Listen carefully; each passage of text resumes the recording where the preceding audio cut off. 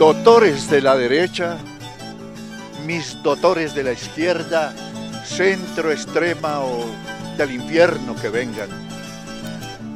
Doctores, aunque ni un título algunos de ustedes tengan.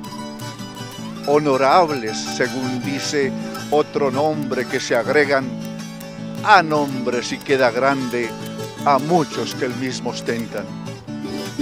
Doctores que han dividido al pueblo con sus banderas, banderas cargadas de odio, pesadumbres y violencia, y que enarbolan las castas siniestras que nos gobiernan, logrando con artimañas apoyo de gente buena. Mi país tiene tan solo un escudo, una bandera, la que muchos con orgullo en el extranjero elevan, pero hay quienes la deshonran, mancillan y pisotean cuando dividen al pueblo por colores y por sectas. ¿Es que acaso el hambre roja o azul la desgracia ajena? ¿O es que el verde y amarillo no sufren en la pobreza?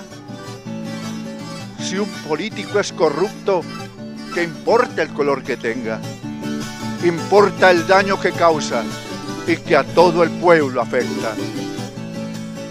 Es que no fueron suficientes tantos años de violencia en que entre hermanos se mataban por diferencia en banderas como para repetir la historia y que otros grupos ahora vengan a sembrar odio en la gente por su propia conveniencia? Cuando alguien en el Congreso presenta alguna propuesta, así beneficia al pueblo, el proyecto no se aprueba. Por no venir del cacique o de la bancada que gobierna, aprobando solamente lo que a ellos les convenga. Tristemente algunos pocos congresistas que aún quedan tratan de ayudar al pueblo en muchas de sus carencias.